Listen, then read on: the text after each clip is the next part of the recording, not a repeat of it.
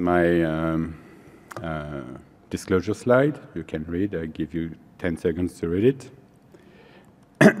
this is my background. As I said, I was raised and born in Europe and uh, raised in France, and I did my medical school in Grenoble, Bordeaux, and then I moved to the US, went back to France, went back to the US, and then to Canada. So, and I will stay in Canada. Do we have many people in Canada, from Canada here in the room? Can you raise your hands? Okay. So for those who are not from Canada, here in French, we say, what do we do in Montreal during wintertime? Because there are a lot of people who are not from Montreal and who are not from Canada who are wondering what we do during wintertime. We still do a lot of things in Canada and in Montreal when it snows. So we have minus, even at minus 30 degrees Celsius, we go out and we have lots of activities. Uh, the best activity is this one. Try to find your car outside when there is a lot of snow. And that's what we like to do at 5 a.m. in the morning and when it's too much snow, we walk.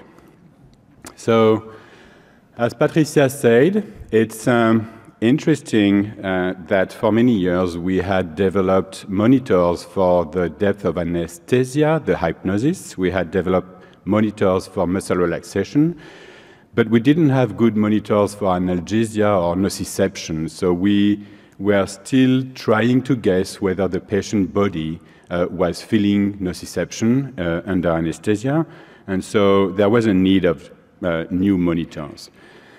Without these monitors, we had clinical signs that you all know of. Uh, heart rate, blood pressure are the two main clinical signs that we use, and there are other clinical signs that we don't want to see in our patients. But most of the time, we use heart rate as a surrogate uh, to tell us whether the patient feels nociception or feels pain, if we can, we cannot say pain, but feels nociception under general anesthesia. So we needed to move forward and find something a little bit better. Why do we need to monitor nociception during surgery? there are two reasons, two simple reasons. If we do not give enough analgesia during the surgery, you will let your nervous system sensitize. Pain sensitization is the first step to pain chronicization, as Martin Angst was explaining. So, um, and if you give too much of analgesia, as we saw this morning, too much opioids means also more pain sensitization and more risk of developing acute and chronic pain after surgery. So this is a slide summarizing this.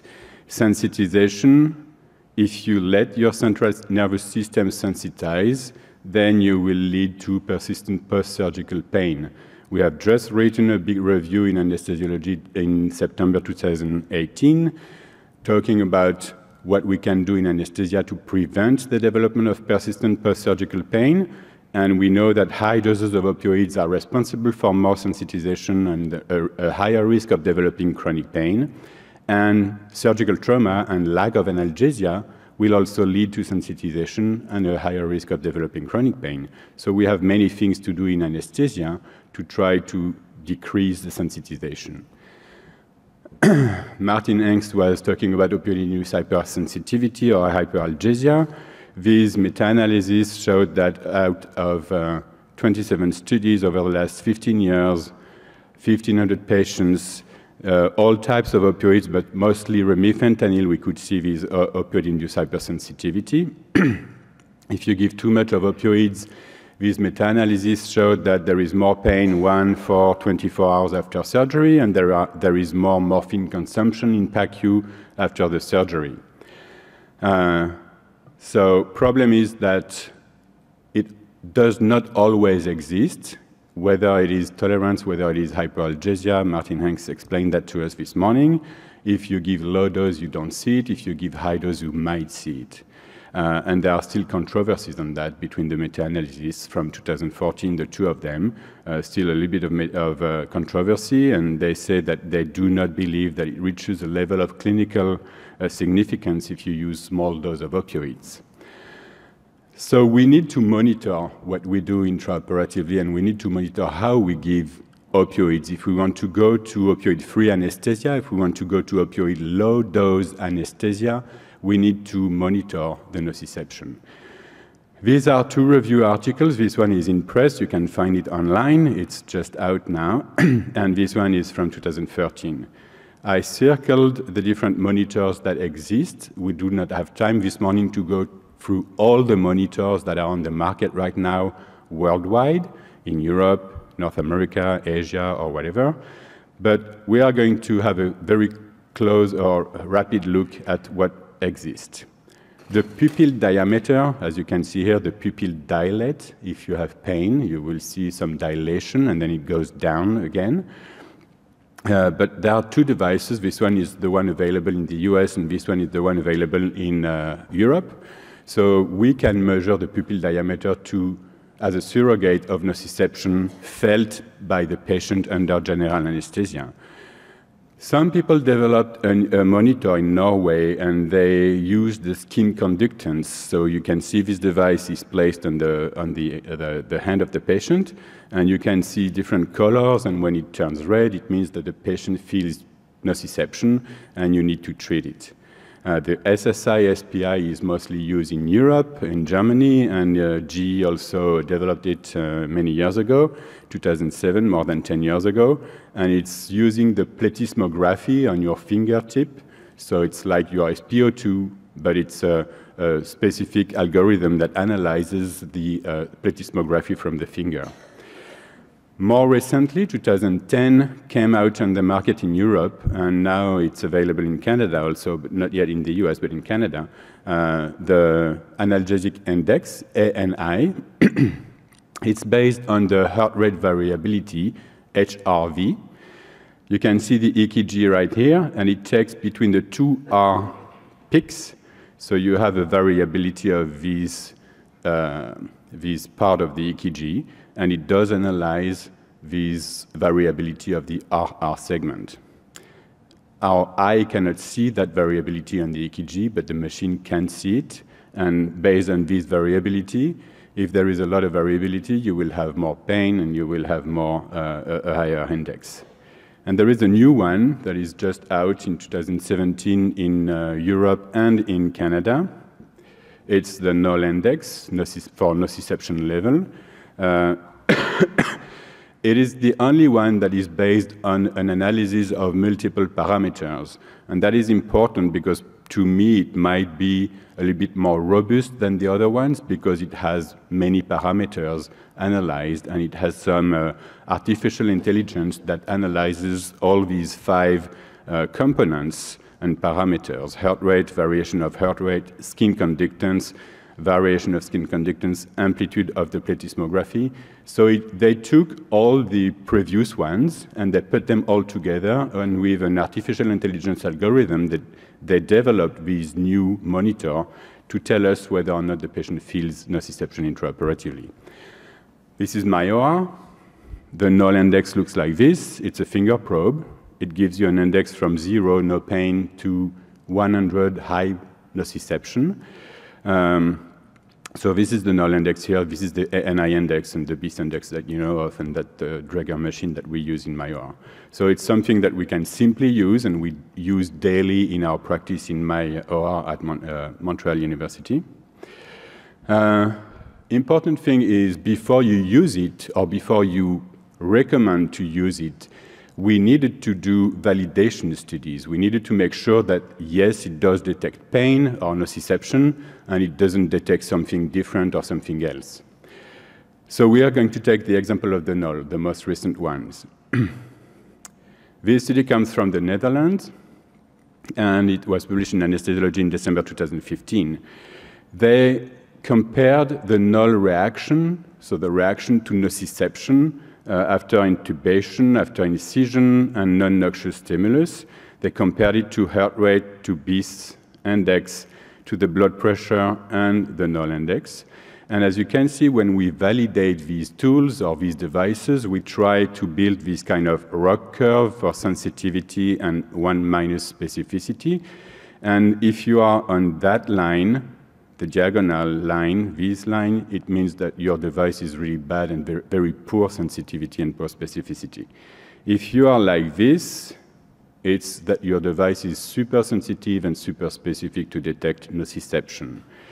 The NOL is the blue one here, and as you can see, compared to the blood pressure in green and the heart rate in red, it has a better sensitivity and a better specificity than the two clinical parameters we use, clinically speaking, uh, in our daily practice.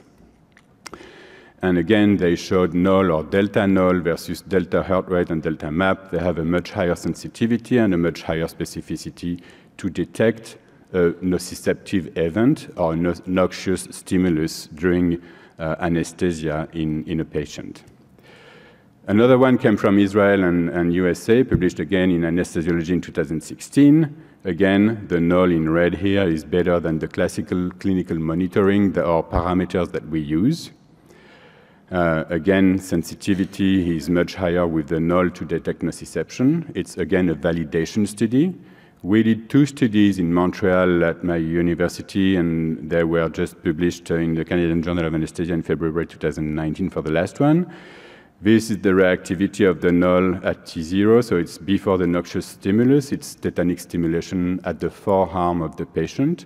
So we have basal values between 5 and 10, and when you apply the stimulation under general anesthesia in your patients, you have some kind of increase of the NOL.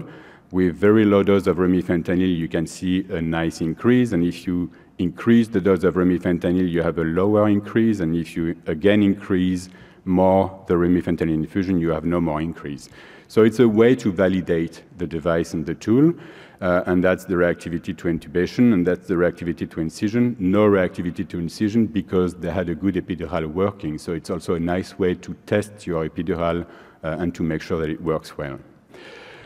We built these ROC curves, and again, it overpassed the two clinical parameters, heart rate and, and blood pressure. So yes, we have now, as a conclusion for these validation studies, these monitors at least the two most recent ones, ANI and NOL, were validated and they are validated tools to be used in clinical practice. So they detect nociception and they detect nociception better than heart rate and better than blood pressure. It's nice to detect blood pressure, to detect pain nociception during the surgery, sorry, but it's also important to know whether or not it has an impact and it has a usefulness intraoperatively and it will change the outcome for my patients. So does it? Uh, if we look at this study, it came out in 2017. It was using the pupil diameter, so the device I showed you on the pupil diameter, and they uh, evaluated 64 patients, adult patients, and they showed that in the group where they used, for, which, for, for whom they used uh, the intraoperative monitoring, they could reduce intraoperative opioid need or op uh, intraoperative opioid administration, and they could also reduce postoperative morphine consumption. So by just monitoring the nociception and personalizing the administration of opioids intraoperatively, they could reduce intraop need of opioids and intraop need of morphine after the surgery. They showed by this graph, and you can see the pupillometer, those who were uh, followed by the pupillometry, they are in the group with a low consumption of uh, intraoperative remifentanil, and they made a relationship between low dose of remifentanil and uh, low dose morphine, and more remifentanil intraop and more post-op morphine. So they changed the outcome of the patient after the surgery, at least for uh, two days after the surgery. The ANI, the, the other device, the orange one that you could see uh, previously, this one uh, was published in Anesthesia and Analgesia in 2017. They looked at back surgery patients and they analyzed the uh, need of opioids uh, and the boluses of fentanyl administration during back surgery when they used or when they didn't use a monitor to guide the administration of the opioids. Uh, in the group with the ANI monitoring, they had lower, significantly lower consumption of opioids compared to the control group who was not monitored with the ANI. And as a consequence of this monitoring, in the PACU, in the recovery room, they could show that the control group had higher, uh, higher pain levels and higher consumption of opioids after the surgery in the PACU meaning that by using the ANI monitoring intraoperatively to better administer the opioids, they could reduce pain scores and reduce opioid consumption in the PACU. This one is online in Anesthesiology 2019, comes from Netherlands, the same group that validated the NOL from Netherlands. They uh, evaluated again the NOL index to guide remifentanil administration during surgery versus no NOL index. And they showed that uh, patients who were uh, monitored with the NOL index had a lower average remifentanil consumption intraoperatively. So you can see here monitored versus not monitored. So it's a significantly decrease in opioid administration intraoperatively. Surprisingly, they didn't have an impact on morphine consumption. They didn't have an impact on pain after surgery in that study compared to the other ones. Uh, but interestingly, they had a better, they had less hypotensive events. They had a better hemodynamic profile during the surgery because they better titrated the opioid administration and they had less effect uh, on the hemodynamic uh, during the surgery, which is also important to our patient. In our center, we did this cinnamon trial. I know that cinnamon doesn't spell like this, but it's, um, it's the acronym for what you see in red. we used, we decided not to use only the NOL index, but we decided to compare two groups. Uh, one group was monitored for depth of anesthesia and depth of analgesia, and one group was just standard of care without the BIS index and without the NOL index. So the purpose of that study, it's a pilot study. We wanted to see if we could see trends to design future bigger studies. So we evaluated 60 subjects. Uh, half of them were monitored with the BIS and the NOL index, and half of them didn't get this kind of monitoring. We placed the monitor in the control group, but we masked the monitor, so we didn't see the index intraoperatively. Uh, we wanted to show that there is a decrease in intraoperative opioids. We wanted to show that there is a decrease in intraoperative opioids, uh, an increase in anesthesia safety with a better hemodynamic profile, and an increase in rehabilitation, post-op rehabilitation. So monitor group had BIS and NOL, the control group had no BIS, no NOL, and we based the administration of opioids and anesthetics on the MAC and on the delta of the blood pressure. We included uh, 30 patients. Uh, it's been uh, proposed, it's been presented at the ASA and the CAS meetings, and it's going to be submitted soon. We um, showed that by using the two monitors and by personalizing the administration of anesthesia and analgesia intraoperatively, we could reduce the doses of desflurane administration, which is not surprising using the BIS. Uh, we didn't show any difference in terms of intraoperative opioid uh, administration because in the group that received uh, that was monitored, we decreased the administration of desflurane to such a small amount that we at one point needed to give a little bit more opioids to, to balance anesthesia. What was the impact we had on postoperative outcomes? We had a shorter time for extubation. You can see here that uh, in blue is the control group and in, red, in orange is the monitored group. We, can we could shorten the extubation time from 8 to 4 minutes, and all our patients were extubated in the operating room, meaning that if you have 4 minutes less for extubation, it's meaningful for an OR turnover. Uh, the extubation time was uh, also better. Oops, sorry. In terms of uh, PACU analgesia, we had less pain at 90 minutes, but not for the early period in PACU. So surprisingly, we didn't see uh, the difference as some studies pointed out uh, previously. Uh, and we didn't see any difference, significant difference in terms of hydromorphone analgesia uh, administered in PACU. So as you can see here, there is a trend, but but there is no significant difference because it was we didn't have we had only 60 patients and we we were just doing a pilot study to to look for trends. This chart from PACU, it's not significant, but it seems to be more interesting when you got the two monitors by using depth of anesthesia, depth of analgesia monitors, BIS and NOL, we had a shorter time stay in PACU, 32 minutes versus 43 minutes as a mean. And the time to reach Aldrete scores was also a decrease.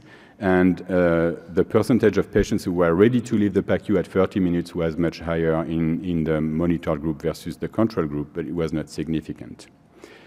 Interestingly, we also followed up on our patients and we looked at postoperative cognitive dysfunction uh, using the MoCA, uh, which is a score for cognitive functions that we uh, evaluated before the surgery and after the surgery, and we used two, a decrease of two standard deviations after the surgery as a surrogate of positive postoperative cognitive dysfunction. And we showed that in the control group, no monitoring, about 18% of the population had a decrease of more than two standard deviation in the cognitive function, whereas it's only less than 5% in the monitor group. So by monitoring our patients, the quality of postoperative recovery seems to be better also on postoperative uh, uh, cognitive dysfunction. So at the conclusion, we have new intraoperative monitors uh, available in Canada, available in Europe. They will, they and they will be soon available in the US. I know that the companies are working uh, with the FDA to get the approval. Uh, they are validated to detect nociception intraoperatively, so it's it's validated and it's not just for fun that we are using them. Uh, their use can help titrating and decrease the need of intraoperative opioids. Uh, as a consequence of their use, we can hope that we will decrease the pain scores, decrease, decrease the early opioid requirement after surgery.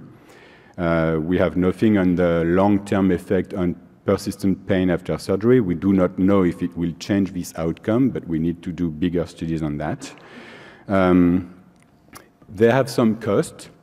So for sure, if you add a monitor in your OR, you will not pay for the monitor, but you will pay for the supplies because they come with supplies, and you will need to buy the supplies, and you will need to justify to your administration why you want to use these supplies and pay $30 each per patient uh, in order to improve postoperative outcomes. So you will have to demonstrate that to, uh, to your administration uh, and their impact on postoperative morbidity and early and long-term outcomes must be better studied in future and large-scale multicentric clinical trials. So we are still missing these big studies. We are working on it, but uh, we will need to show that there is an impact not only on nociception, because it's nice to monitor nociception, but it's also nice to show that it has an impact in terms of quality of recovery. And as Patricia was saying, we have scores to evaluate quality of recovery after surgery, like QR15, QR40. So we have many scores and many ways of evaluating satisfaction and quality of recovery. So whether or not it will change this recovery has to be proven. Thank you. So I will invite uh, Professor Angst and Professor Lavand'homme to come to the stage. If you have questions, uh, you have microphones, so please go to the microphones so everybody can hear you, and uh, we will be happy to take all the questions you have on the free topics and the free uh, lectures.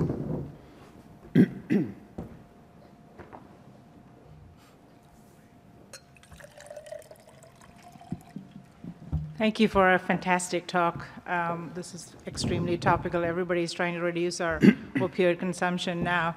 So my question is for Dr. Angst primarily about you, the use of uh, adjunctives like ketamine, for example. And you know, when would you use it in terms of timing? Do you use it, uh, or what method of um, administration? Like, would you give it as a bolus uh, or as a continuous infusion for a long case?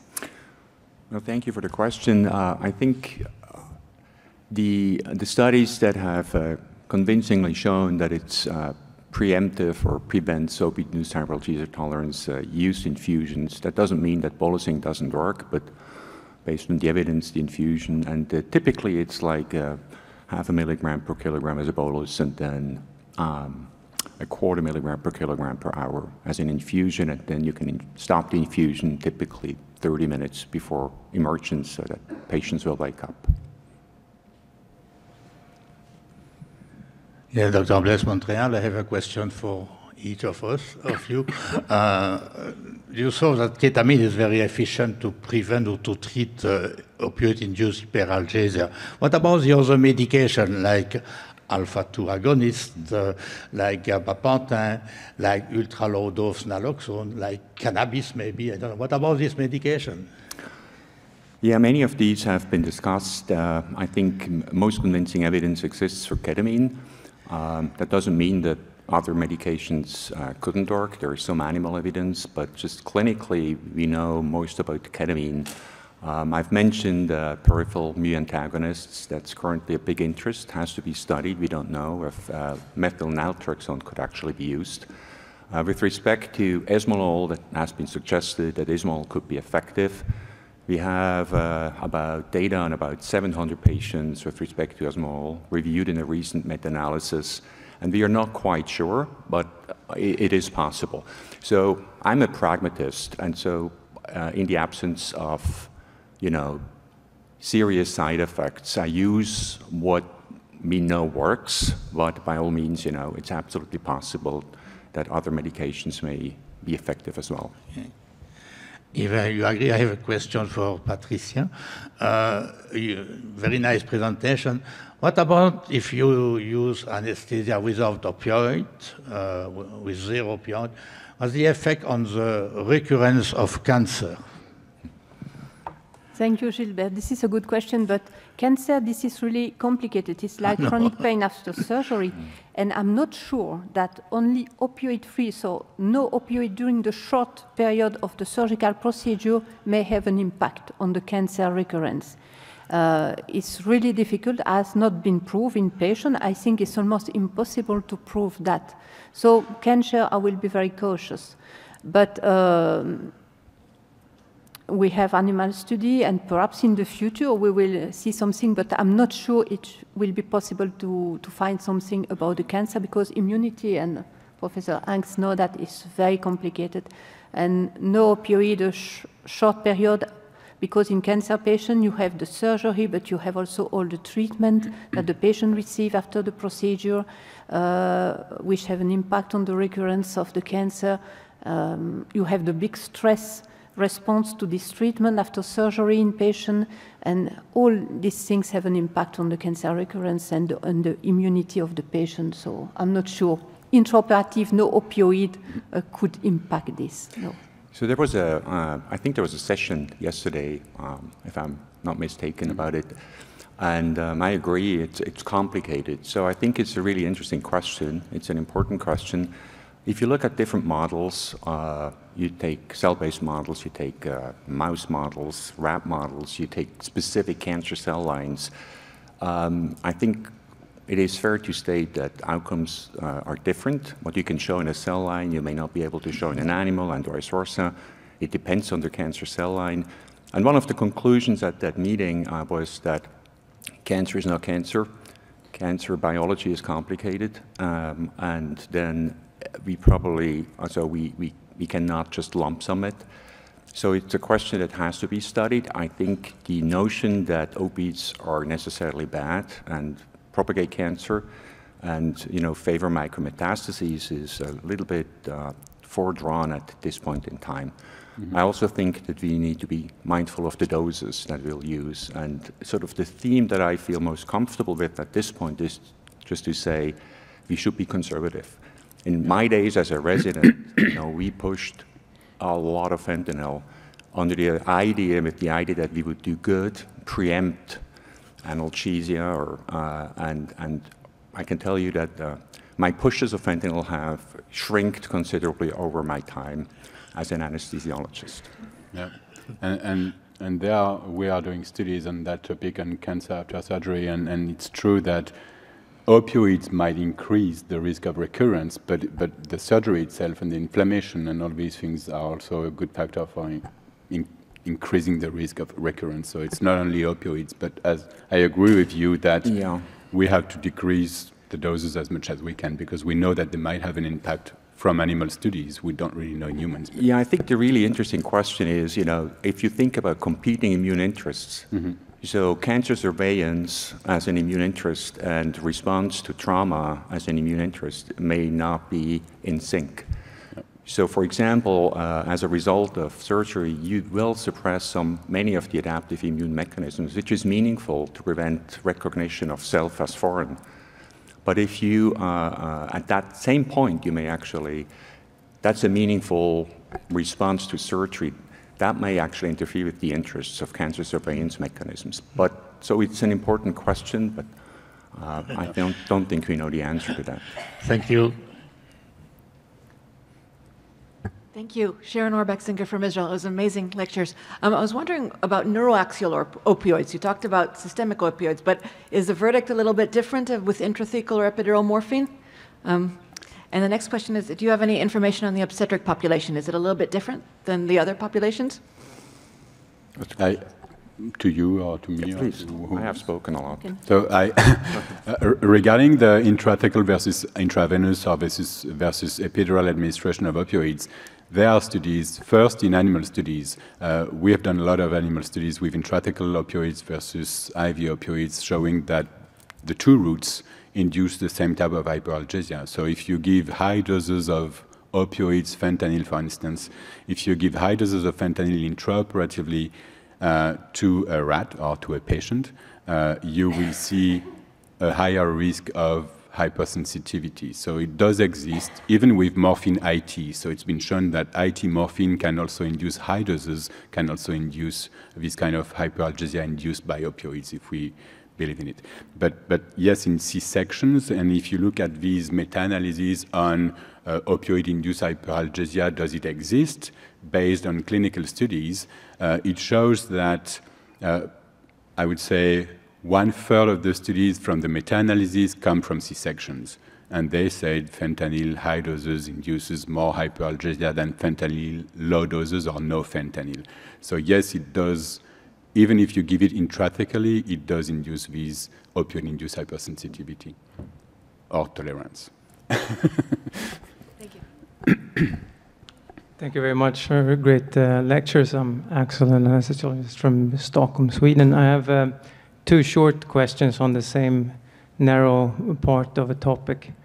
Uh, it's concerning the um, dose, rela- uh, dose related um, change in uh, BIS EEG when you're using ketamine for opioid free anesthesia. And the first question is if you know of any BIS uh, apparatus that has come around this. Um, I mean, the situation where the machine reads it, the, the situation as if the anesthesia is quite light, where it is actually quite deep. Um, and the qu- second question is if you have some other technique or, or a workaround in, in your clinical practice when you're doing OFA. Uh, you mean uh, the monitoring for Yeah. OFA? Yeah, Yes. and then specifically the EEG-based Yeah. uh, nociceptive devices I, can answer like this this. one because Yes. We, we have just completed one study in Montreal uh, looking at this impact on ketamine doses, low dose ketamine. We are not using anesthetic doses. We are talking here about low dose ketamine. Low dose ketamine means a bolus of 0.25, 0.5 mi- milligram per kilogram, and then an infusion during the surgery with very low dose of ketamine, versus bolus during the uh, during the um, the, the anesthesia. There are people who don't want to run an infusion, so they prefer to give boluses every hour. They give one small bolus of ketamine to the patient, which I agree with because uh, you don't always have pumps to give all your infusion, and your pumps are already busy with infusing infusing other things. So whether ketamine boluses versus ketamine infusion changes the EEG monitoring, yes, it does. The study we just completed shows that if you give boluses every hour, you will see a change more than 15% of increase in the BIS index for about 10 to 15 minutes. It takes 10 to 15 minutes to go back to its normal value. So it means that you need to be careful because what happened in, in the study we did, because we didn't want to keep the BIS so high, we increased the desflurane. So what happens is that it overdoses the patient for a while, for 10, 15 minutes, and the consequence of overdosing anesthesia is have a decrease in blood pressure and need of more vasopressor.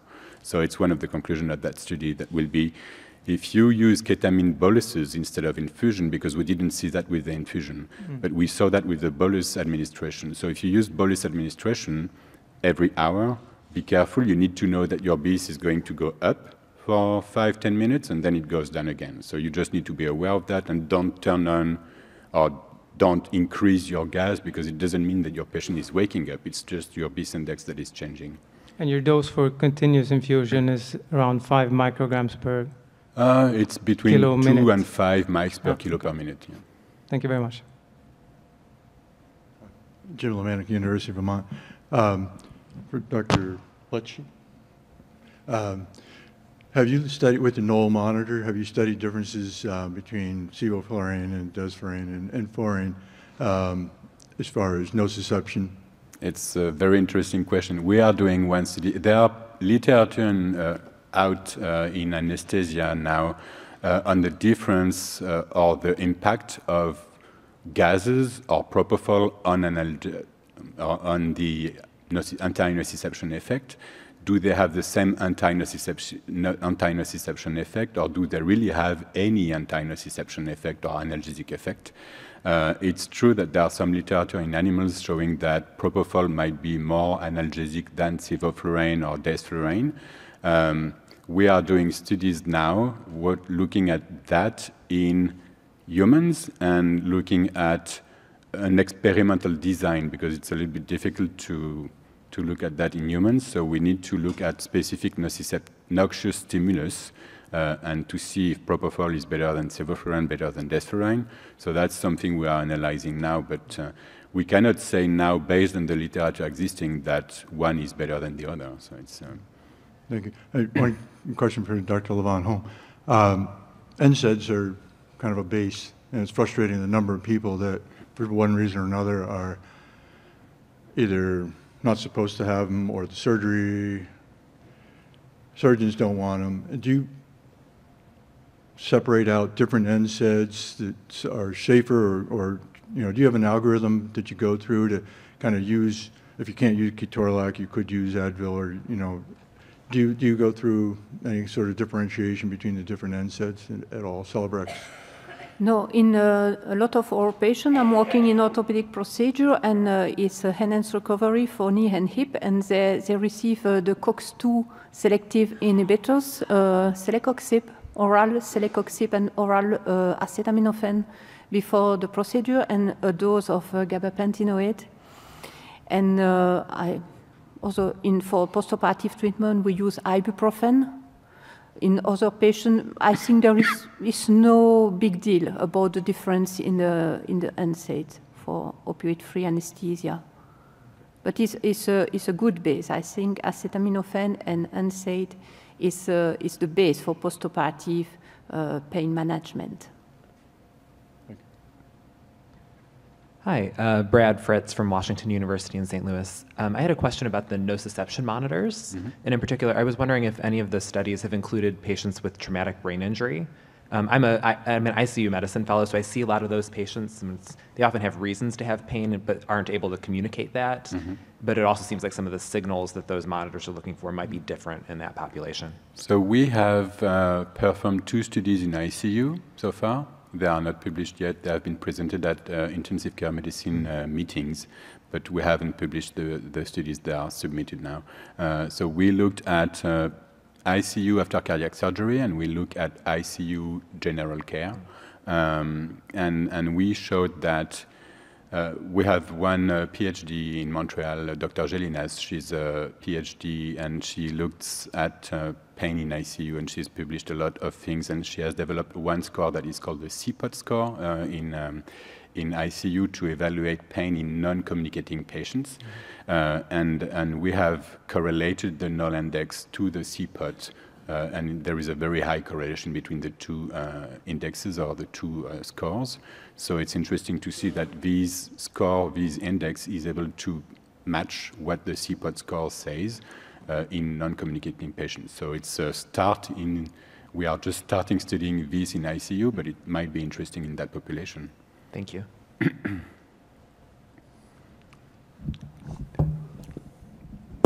TJ Gan from um, Stony Brook, New York. Uh, enjoyed the presentation. So my question's um, probably more directed at uh, Professor Rishabian, but I'd like to hear the panel's response. Um, with regards to the nociceptive monitor, I believe that we are still in a very sort of infancy stage trying to see what is the best monitor. Now, I think there are obviously a number of different um, uh, technology, you know, as you presented, some using pupillometry, others using uh, more skin conductance to assess autonomic response. And they're also using EEG to trying to, uh, the QNOX mm. and qCON to trying to assess. I guess my question is that, you know, we are using autonomic response, or I guess nocis, autonomic response is a surrogate for nociceptive response, and it yeah. may not be entirely all the nociceptive response, may be totally separate. Mm-hmm question is whether what, what do you think that know, in terms of the evolution of the technology, would it be better to incorporate the different technology, you know, the EEG, the, the RR variability, the pupillometry, to come into one? Does that improve the uh, accuracy of the uh, of the index? And where do you see this going in the future? Because obviously they're all different companies' technology, so it's very unlikely they're going to share technology. But I, I, think that you know it is one of those things that unless you get all the uh, different aspects together, uh, and before you can get really a good clinical useful monitor to uh, you know use in a clinical environment. Yeah. Thank you. Uh, for the last 15 years, we have seen a big evolution in these monitors. Uh, 15 years or 20 years ago, only the pupillometer was existing. We didn't have anything else. And I it's not that I don't like the pupillometer, but I, I think that it's not very adapted to my clinical practice uh, because intraoperatively you need to open the eye of the patient, you need to check, and it's not a continuous monitoring. It's just uh, a monitor that you evaluate every five, ten minutes and doesn't give me much of information. I prefer to use continuous monitoring. So the continuous monitoring that came on the market were first the skin conductance, problem with the skin conductance that I see in my clinical practice is that if you use the skin conductance alone, it has a lot of interferences coming from the environment of the operating room, electrical interferences from the electrocautery or lots of things that will change the skin conductance. So alone, don't think it's a very good one.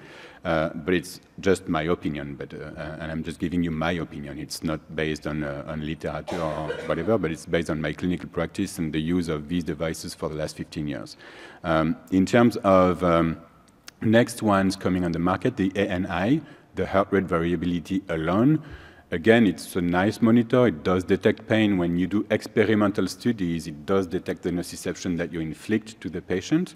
So yes, it's a good monitor to detect it. Whether or not it's useful intraoperatively, again, it has some problems with electricity and electrocautery and all the things, the electrical things which are going to change the EKG. You know, when they are working in the thorax or next to the, the electrodes, it interferes with my EKG, and then when I lose my EKG, I lose my signal. So it's, it also has limits. Uh, the SPI has limits with the position of the patient, the, the volemia of the patient, the fluid that you give to the patient, so it, it has some limitations too.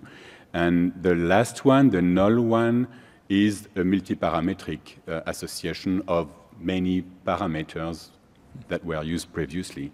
So by using this multiparametric approach and by using these artificial intelligence algorithm that we have nowadays that we didn't have 10 years ago, combining all these things together, to me, in my clinical practice, it seems more robust than the other ones. Where are we going to go? Because the NOL also has some limits. If I give, and Patricia was talking about beta blockers to mask pain or to, to mask the increase in heart rate, and so you, you might have, in the meta-analysis with beta blockers, you might have an impact on postoperative pain acute pain and uh, opioid consumption if you use intraoperative beta blockers. But if you use intraoperative beta blockers, your NOL index is going to go down to zero and you don't see anything anymore. So it's, it has limits. Like all the devices we use, they have limits. Uh, I, if I had to make a choice in what would be the best in the future, I think that I would love to have some kind of recording of my sensory pathways, you know, like putting an electrode next to my nerves and looking at the signal that goes from the periphery to the brain, but it doesn't exist yet. So it's, um, that would be the best thing to do, I think, to, if you do a surgery on the knee, if you can target the nerve going from the knee to the spine and look at the activity of this nerve, that would be the wonderful device uh, that will win the competition, but we don't have that uh, available now. So we just have to look at the balance between the autonomic, in the autonomic system. So it's, um, we need to be, I agree with you, we need to be aware that they are useful, but they also have limits. So you need to keep using your brain and say, okay, does it really work well with what I see on my screen? And if everything works, then it can be a help to your decision. Do you have any thoughts on the EEG basic? I didn't hear you talk about that. I know that there are, uh, there are devices that combine the EEG and, uh, and uh, also some kind of uh, autonomic system balance uh, parameters, but, but there are, I haven't used these monitors myself, so I cannot give you my opinion on that, but in terms of uh, uh, literature, it seems that they, they might be interesting also. But it might be a nice thing to associate that. Uh, to go back to the EEG monitors, when you look at the studies on the monitors, the validation of the NOL index, the validation of the ANI, or the validation of all these things, they always compared it, the NOL index, they always compared the NOL index to the BIS index, the EEG monitor that is the more classically used in ORs. Uh, and the BIS index, if I inflict some pain or noxious stimulus to my patients, the BIS index does change. But if you do these sensitivity and specificity ROC curves, uh, it is not as sensitive as the NOL index to detect the noxious stimulus. So yes, the BIS index might be interesting, but it's really not as good as the NOL to detect the, the, the, the pain. Thank you. Thank you. Claudia Coimbra from Canada. First of all, I'd like to thank uh, all three of you. It was uh, excellent uh, presentations. My question goes, someone asked a little bit about uh, intrathecal epidural opioids, and I heard the response, but I was wondering, did you change uh, your habits for the post-operative epidural for analgesia, where we use, uh, we normally put it in some kind of little dose of narcotics to mm-hmm. usually to decrease the local anesthetics, but did you guys start changing that also in your practice? No, I think uh, we use first very low dose of narcotics in the epidural, but if you don't add narcotics to your epidural, uh, it's not working so well. Mm-hmm. So uh, the goal is to provide to patient a very good postoperative analgesia. What we do, uh, we often we combine a very small dose of narcotic with uh, alpha-2 adrenergic agonist with clonidine into the epidural. Okay. Sometimes we do only local anesthetic with, uh, with clonidine, with no narcotic. It depends. But yes, I think we, we need to be ethic and to have a functioning uh, epidural for all patients after the procedure. So, Dr. I, Richebé, since you're in Canada, clonidine in the epidurals, which we don't. We we we don't use it no. for sure. Um, whether or not we should uh, is yeah, a good question. unfortunately, we don't have that. but we don't. We, it's not. I mean, it's not uh, approved, and it's not available, uh, and it's not approved by Health Canada. So it's. Um, for its use, for this use. So it's, I would say, you know, we can always work outside of the of what is uh, recommended. But I, I, for Canadians, I would recommend not to use it. But uh, it's uh, just for because so, of the regulation in Canada. But it's uh, okay. Thank you. Ruth Landau from Columbia. I want to thank you for super presentations and for allowing us to see how complicated things can be demonstrated in simple and accessible ways. I have a question for the three of you. Um, we see the history of anesthesia, and Patricia showed us a few slides on that, is that the pendulum swings. So we've been you know, probably undertreating pain Mhm. to potentially overtreating pain or trying to overtreat pain with a massive amount of opioids that has resulted in the opioid crisis that we are trying to uh, curb in North America. I am worried that with the opioid free anesthesia sort of logo and concept, we're going to be bal- sort of swinging, the pendulum will swing back. And I'm already seeing it, and it's in- interesting. We see in, in, in the United States that CRNAs are very fond of it, and there's a movement towards opioid free anesthesia. So, my question to you is what are going to be the tools, the messages, the information, the education to finally do what probably is more complicated than giving a lot of opioids or no opioids? And you've talked about uh, you know, balanced opioid anesthesia or low dose opioid anesthesia. I'm asking you, as the leaders in the field, how do you think to best message that it might require a little bit more uh, tailoring and balancing things, and that the Goldilocks phenomenon will also apply here, where just right will be better than none or too much? Okay, I'm gonna start. I I would just add to the to the comment or the question, just add something that you may answer the two of you.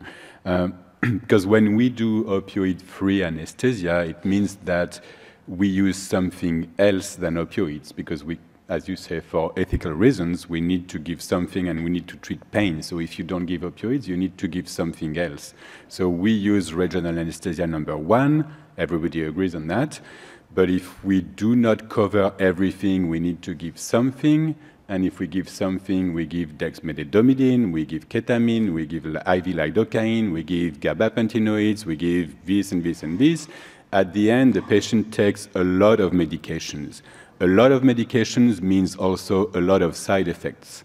And that's a question that is very important because we have published recently a paper on using dexmedetomidine versus remifentanil for EBUS. So it's uh, some kind of uh, outside uh, anesthesia things that we do in, uh, in pneumology.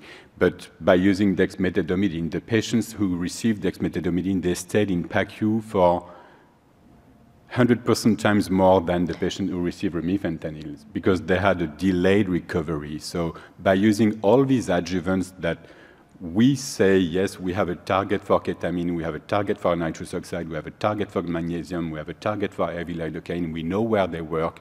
Beta blockers, I don't agree with that because I don't know where they work, but still, still some people use it. But we have, for all these adjuvants, we have targets, and we know that they might target something, but they come with side effects. And when you combine all of them, the take-home message must be you know, we, we need to be careful of what we do. So I will let you speak about that.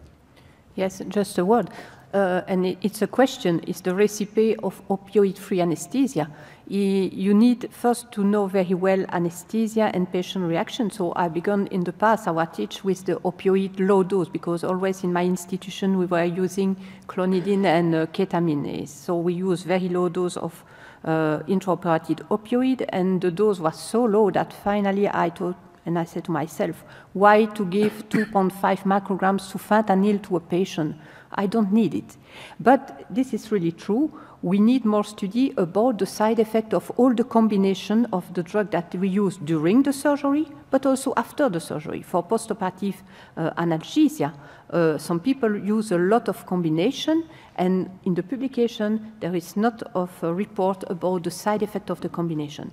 So if you want to use opioid-free anesthesia, uh, when I use it, I never put all the drug together for the patient because if that, uh, you cannot wake up the patient uh, in time, the patient will feel dizzy and you, have, uh, you will have a counterproductive effect. And to, to come to your question, Ruth, I think we need to be careful. Opioid free, I do opioid free anesthesia during the surgery. But for postoperative pain, I use opioid. And the drug I use for opioid free during the surgery have opioid sparing effect on the postoperative period. This is the, the most important. It's not the, the 2.5 micrograms fentanyl I don't give to my patient. I'm not sure it make a difference, perhaps for the nausea and vomiting. But for other things, I'm not sure.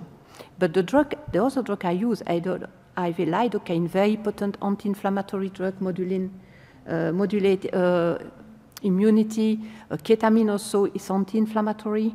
Uh, all these drugs can have an impact on postoperative pain. And postoperative pain and the use of postoperative opioid, as I said in my, uh, in my lecture, this is a matter of education. So doing opioid-free doesn't mean that you will let your patient in pain crying after the procedure. We need to, be, to, to stay ethical. But opioid-free, I think, could be a trigger about uh, education for the, the medical uh, health, um, health provider. I just want to make one more comment. I think the problem with opioid-free anesthesia is that people are misunderstanding Mhm. it as a Yeah. solution for the opioid crisis. Mhm. So you described it very well. There's the intraoperative period, Yeah. there's the postoperative, and then the prescription, which obviously was not the topic of today's panel. But if people are thinking that the opioid-free anesthesia is going to curb the opioid epidemic, we're in deep trouble because you- you've just mentioned it again. You're not giving it intra, but you are giving it post-op. So I'm curious to know what Martin is going to do. Well, I mean, I said I'm a pragmatist, and um, I typically, uh, maybe with the exception of the field of oncology, uh, think we should avoid the extremes. Um, I think oncology is the only field where I know that virtually killing biology actually helps patients. So within anesthesia, within uh, you know post-op pain management um, and intra-op pain management or anti-nociceptive management, I have never been convinced that going very high or avoiding it at all actually is um, how biology works and how pharmacology works. And I'm a little bit anxious if you use these labels that we come across as radical and we actually don't really help the cause, which I think is don't use narcotics liberally. I don't think there's any advantage of using high doses. And I think that's sort of the most important message. Um, I also think uh, when I teach residents that there are sort of two moments in anesthesia. One is uh, patients anesthetized, and we're really dealing with uh, a lot of cardiovascular issues, but then we transition a pain to consciousness, and that's when suffering and pain actually occur. So I try to sort of teach them there's really no benefit of giving narcotics in TROP if you don't have to for control of cardiovascular parameters. But that objective changes as you wake your patient up, and there we transition, and I think uh, we give narcotics. I liked actually the pyramid that uh, you showed, um, where we sort of now change maybe first line, second line, third line ideas of how we treat patients. So we give them pre-op uh, an NSAID, we give them acetaminophen, and then we add narcotics as needed as opposed to start with narcotics. And I want to just one, make one more comment on the gabapentin, which was extremely popular and was actually included in many ERAS protocols in our institution. Now we learn it actually may not work in most patients. We learn it increases fall risk, and we learn that increases basically the risk of apnea post-op because of the use of narcotics in the post-op period. So I think as we go along, you know, we just have to be observant, we have to learn, we have to be open, we have to be educated. Uh, but I, as I, going back of what we should teach, avoid high doses and maybe switch the pyramids in how we approach things. And, and to, to finish with that comment, on that comment and the pendulum, and it's true that if you look at the history of the use of opioids in anesthesia, during, the, during general anesthesia, we, when I trained, I started my residency in 1995. At that time, people said, oh, don't give opioids, it's bad for the patient, so they tended to avoid. And then in 2000, 2005, we gave many, many opioids, or too much opioids, and that's when we started to see in animals, but also in humans, that high doses of opioids are bad for the patients. And now the pendulum goes down to low doses of opioids. So if we don't want to go to opioid free, free, free anesthesia, we can go to opioid low dose anesthesia, which I think is the take home message to, to, to go with today because it's, uh, we cannot avoid 100% opioids in our practice, but we need to precisely administer them, and that's why I wanted to talk about these monitors of, an, of analgesia or nociception in order to precisely give the right dose at the right time to the right patient and not to overdose my patients intraoperatively. Thank you. Merci beaucoup for your, atten- for your attention. For, for